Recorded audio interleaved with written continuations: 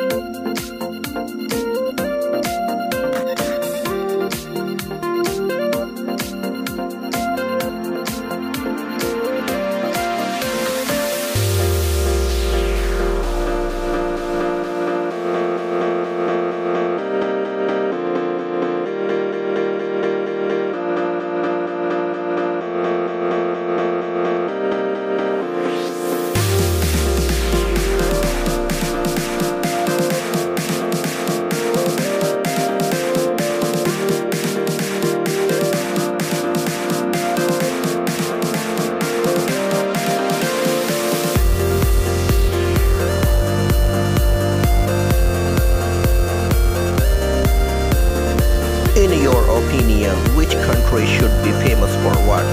Let us know in comments.